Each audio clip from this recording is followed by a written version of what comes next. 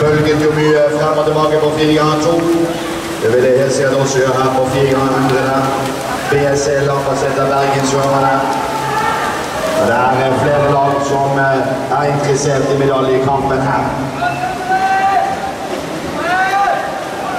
Lambertseter med Nikša Stojkovskij. Vestkantsjøerne Marius Solot Rødal og Bergensjøerne Sverre Næss. Nikša Stojkovskij 24-14 i åpning. Er Lambertseter som har en en kroppslengdeføring. Og nesten mer enn det. Vestkantsjøerne på andre. Solot Rødland kommer uhyre sterkt.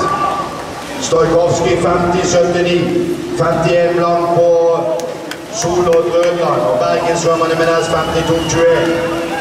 Det var en suveren siste timeterne der på Marius Solon Rødland. Kommer uhyre sterk Lambertseter, Sondre Kallon, bronsevinner på Tore. Vestkantsvømmerne har eh, Eirik Nilsen, som gjorde 52-spill. Nå er det vestkantsvømmerne i føringen.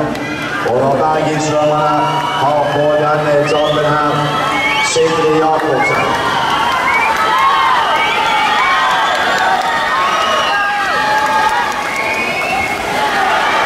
Og det er Eirik som det Kallå.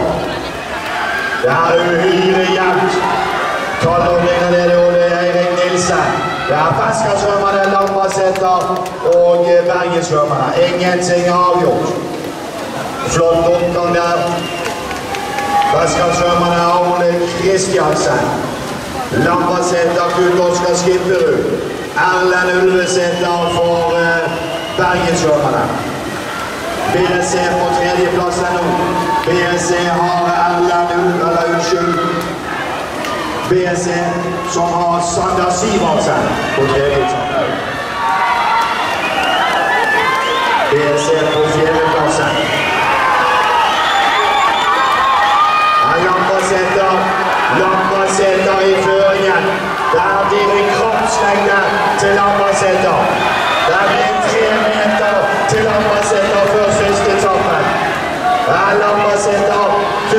Skipperud. Så er det BSC og Bergensvømmerne. Lambertseter i føringen. Armen Kovic.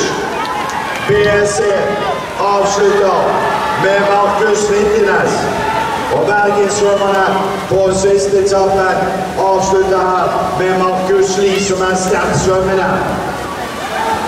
Men det er jo halvannet sekund mellom Markus Lie og eh, Armen Porovic. Porovic har fremdeles halvannet sekund. Der lander sikker og Armen Porovic. Markus Lie kommer. Porovic kjemper. Det må jo være Mariland Lambertseter og Armen Porovic. Lie på andreplassen. Han puster på hver tak. Men det er Armen Porovic og Lambertseter som vinner dette.